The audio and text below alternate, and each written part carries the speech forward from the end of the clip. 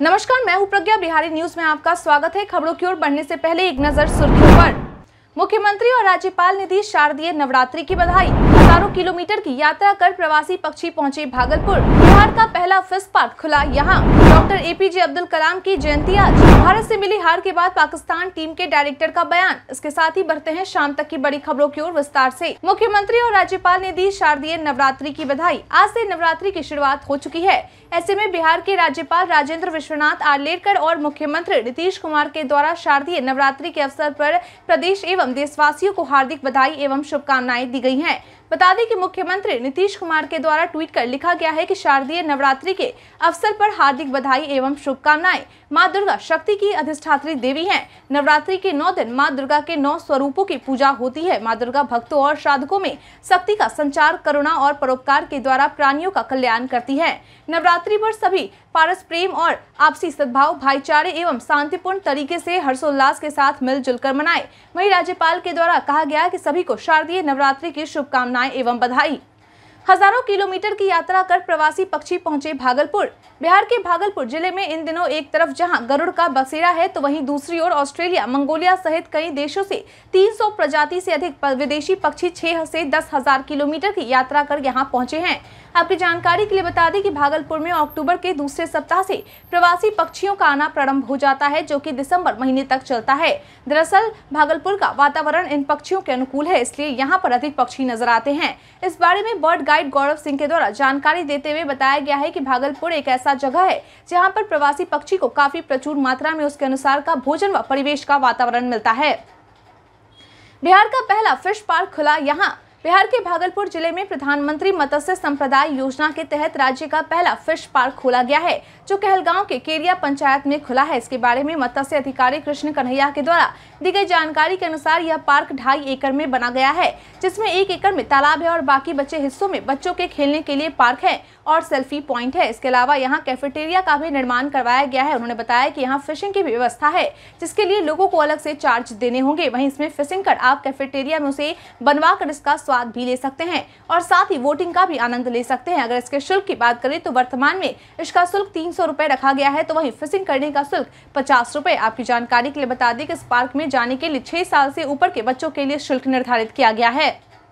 बिहार का लाल बना shark tank India season तीन का जज बिहार के किशनगंज के बहादुरगंज के रहने वाले इन शॉर्ट्स के CEO Azhar Iqbal, Shark Tank India season तीन के जज बनने वाले हैं। बता दें कि इसकी सूचना टीवी शो ने अपने सोशल मीडिया हैंडल से दी है, जिसमें बताया गया है कि शार्क टैंक इंडिया तीन के तीसरे जज के रूप में अजहर इकबाल होंगे। आपकी जानकारी के लिए बता दें कि अजहर ने दसवीं तक की पढ़ाई किशनगंज शहर तघेरिया स्थित ओरिएंटल पब्लिक स्कूल से की है। वहीं आगे की पढ़ाई के लिए वे दिल्ली चले गए। उसके बाद उन्होंने आई जेईई में छह सौ के आसपास ऑल इंडिया रैंक लाकर आईआईटी दिल्ली में एडमिशन लिया, वहीं पर इकबाल ने न्यूज़ एंड शॉर्ट्स नामक एक फेसबुक पेज की शुरुआत की जिसे वह लगातार आगे बढ़ा रहे हैं। मालूम हो इन शॉर्ट्स एक न्यूज़ कलेक्शन ऐप है, जिसके माध्यम से आप बिना ज़्यादा समय व्यतीत कर देश दुनिया के खबरों के बारे में जान सकते हैं।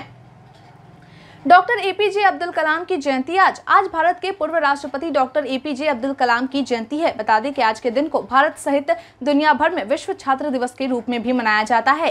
वहीं डॉक्टर कलाम, जिन्हें आमतौर पर भारत के लोगों के द्वारा राष्ट्रपति के रूप में जाना जाता है, उन्हें मिसाइल मैन ऑफ़ इंडिया के नाम से भी देश दुनिया में सभी जानते हैं।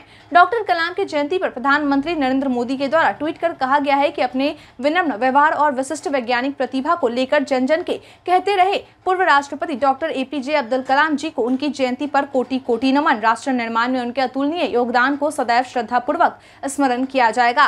वहीं बिहार सरकार की ओर से ट्वीट कर कहा गया है कि भारत के पूर्व राष्ट्रपति, महान वैज्ञानिक एवं भारत रत्न डॉक्टर एपीजे अब्दुल कलाम की जयंती पर उन्हें कोटि कोटि नमन। आपकी जानकारी के लिए बता दें कि डॉक्टर एपीजे अब्दुल कलाम के द्वारा कहा जाता था कि यदि आप असफल होते हैं तो कभी हार न माने, क्योंकि फेल का अर्थ है सीखने का पहला प्रयास। अंत अंत नहीं है। यदि वास्तव में एंड का अर्थ है, प्रयास कभी नहीं मरता। यदि आपको उत्तर के रूप में नहीं मिलता है तो याद रखें कि नो का अर्थ है अगला अवसर। तो चलिए सकारात्मक रहें। स्मार्ट सिटी योजना के तहत गंगा पथ पर मिलेगी सारी सुविधाएँ। दिग्गा में बने जेपी गंगा पथ के बड़े हिस्से को अब पटना स्मार्ट सिटी योजना के तहत छियालीस दशमलव दो छह करोड़ रुपए के खर्च से एक नए सिरे से विकसित किया जाएगा। इसके लिए टेंडर फाइनल कर दिया गया है और निर्माण एजेंसी को ज़िम्मेदारी दे दी गई है। बता दें कि अगले महीने से, यानी कि नवंबर से इसके निर्माण कार्य की शुरुआत हो जाएगी और अधिकतम छह महीने में काम को पूरा कर लिया जाएगा। मालूम हो कि रिवर फ्रंट डेवलपमेंट प्रोजेक्ट के तहत पार्किंग से लेकर गार्डन बनाकर शहर के लोगों को कई तरह की नई सुविधा दी जाएगी। दिग्घा गोलंबर से गंगा चैनल ब्रिज तक वेंडिंग जोन बनाए जाएँगे ताकि सब कुछ व्यवस्थित किया जा सके। आम लोग जो गंगा पथ पर घूमने आते हैं, उनके पैदल चलने के लिए चार पाँच मीटर की जगह को यथावत रखा जाएगा और उसके बाद की दो मीटर की जगह पर वाइंडिंग जोन का निर्माण किया जाएगा। वही वेंडिंग जोन के साथ साथ खूबसूरत दृश्य के लिए लैंडस्केपिंग भी की जाएगी। लोगों के बैठने के लिए बेंच लगाए जाएँगे। दो किलोमीटर के हिस्से में हर 500 मीटर पर आमजन की सुविधा के लिए शौचालय, पीने के पानी की व्यवस्था, बैठने की व्यवस्था के साथ साथ दुकान लगाने वालों के लिए बर्तन धोने की जगह की भी व्यवस्था पूरी की जाएगी।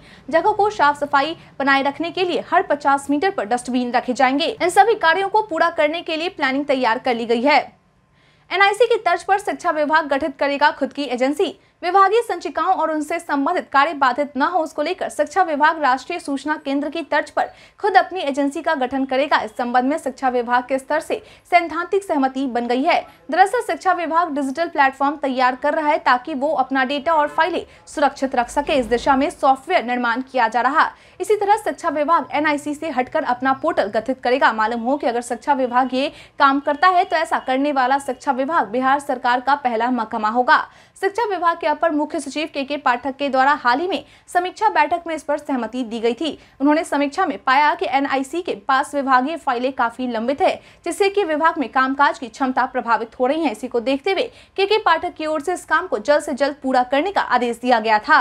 कांस्टेबल से जमादार एएसआई बनने के लिए देनी होगी बीपीए की परीक्षा। पुलिस महकमा में अब कांस्टेबल से जमादार रैंक में प्रोन्नति के लिए लिखित और शारीरिक दक्षता परीक्षा देनी अनिवार्य कर दी गई है। बता दें कि यह परीक्षा केंद्रीकृत तरीके से होगी और इसके संचालन की पूरी ज़िम्मेदारी राजकीय स्थित बिहार पुलिस अकादमी को दी जाएगी। मालूम हो कि बिहार पुलिस अकादमी के स्तर से पहली बार 18 और 19 अक्टूबर 2023 को सभी जिला मुख्यालय के अलावा डुमरा और बघा स्थित बिहार विशेष बीएसएपी के मुख्यालय में यह परीक्षा होने जा रही है, जिसमें कुल 6000 कांस्टेबल शामिल होने वाले हैं। इसके तहत पहले लिखित परीक्षा ली जाएगी और फिर शारीरिक दक्षता परीक्षा ली जाएगी। दोनों के अंकों को जोड़कर अंतिम परिणाम प्रकाशित किया जाएगा। वही इसमें पास होने वाले सभी कांस्टेबल की प्राप्त अंक के आधार पर सूची बनाई जाएगी और उसके आधार पर ही उनकी वरीयता तय होगी। इस बार की परीक्षा में वर्ष 2009 तक जिनकी बहाली हुई है, वह इसमें शामिल होंगे। अरवल में टेंपू से बरामद किया गया शराब। बिहार में पूर्ण रूप से शराबबंदी है, इससे तो हम सभी वाकिफ हैं।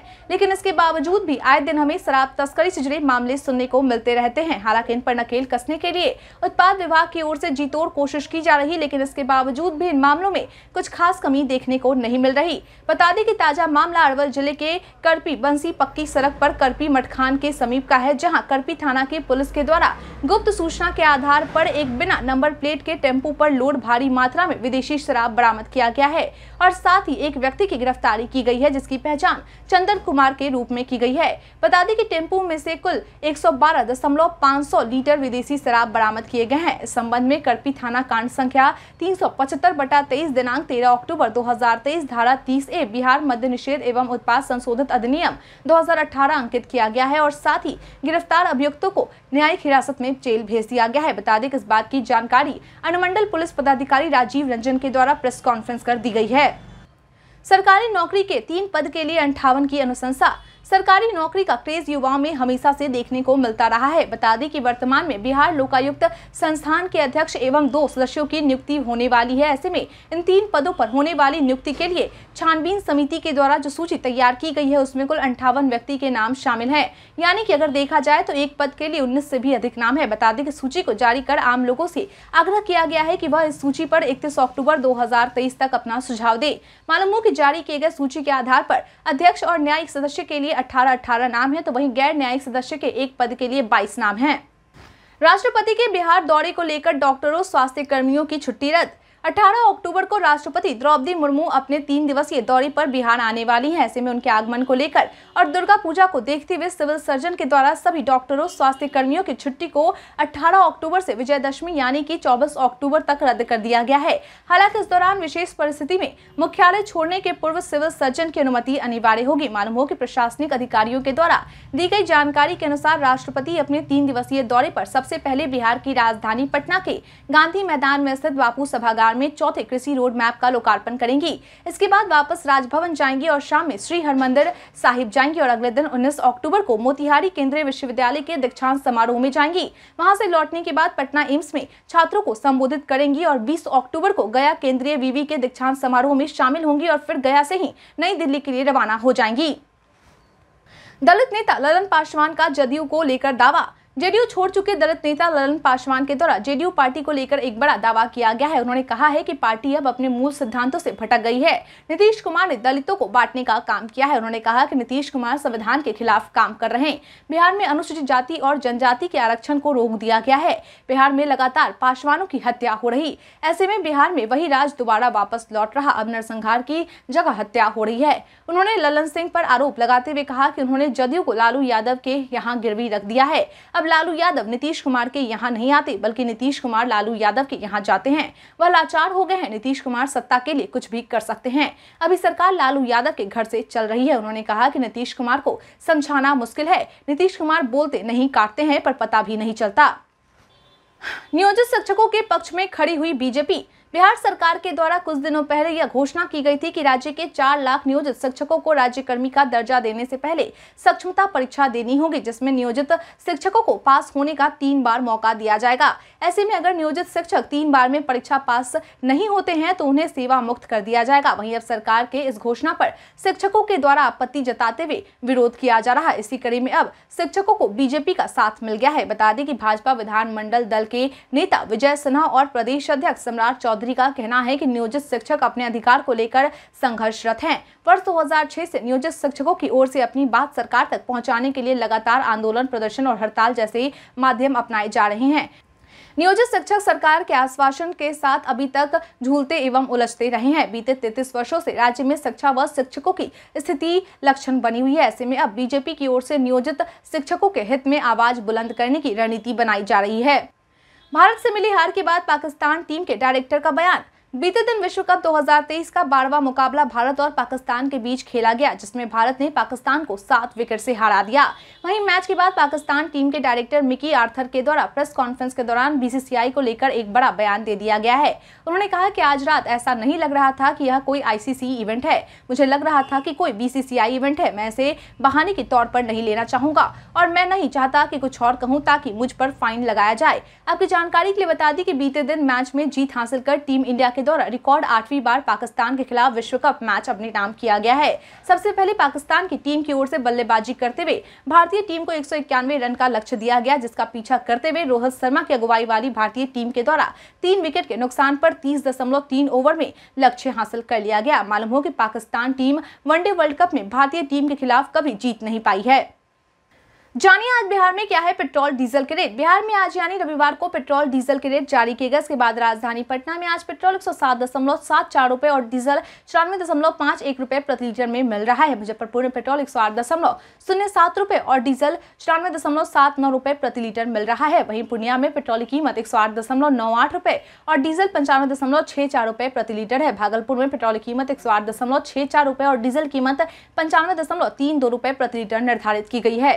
इसके साथ ही गया में पेट्रोल की कीमत एक सौ आठ दशमलव चार चार रुपए और डीजल कीमत पंचानवे दशमलव छह एक रुपए प्रति लीटर निर्धारित की गई है। बता दें कि बिहार में पेट्रोल का रेट सबसे ज़्यादा किशनगंज में है, जहाँ पेट्रोल एक सौ नौ दशमलव सात तीन रुपए प्रति लीटर और डीजल छियानवे दशमलव तीन चार रुपए प्रति लीटर की दर से मिल रहा है। बीते दिन हमारे द्वारा पूछे सवाल का आप लोगों में से बहुत लोगों ने अपना जवाब हमें हमारी कमेंट सेक्शन बॉक्स में लिख कर दिया है। जिन्होंने हमारे द्वारा पूछे सवाल का जवाब दिया है, उनके नाम है गौतम कुमार, उमेश ऋषिदेव नंदन कुमार सिंह, रंजीत मिश्रा, मोहम्मद फहीम, भान प्रकाश मौर्य, नन्नू गोलू कुमार, ऋषि कुमार, राजेश कुमार, मोहम्मद सकीर हुसैन, सिद्धार्थ कुमार, चंदन राज कुश कुमार यादव, पंकज यादव, प्रमोद कुमार। इसके साथ ही बढ़ते हैं आज के सवाल की ओर। आज का सवाल है, आपके क्षेत्र के मौसम की क्या स्थिति है? अपना जवाब हमें हमारे कमेंट सेक्शन में लिखकर ज़रूर बताएँ। आज के लिए इतना ही। बिहार के तमाम खबरों के साथ बने रहने के लिए देखते रहें बिहारी न्यूज़। और साथ ही, अगर आप यूट्यूब से देख रहे हैं, चैनल को सब्सक्राइब करना और अगर आप फेसबुक से देख रहे हैं तो पेज को फॉलो करना ना भूले। धन्यवाद।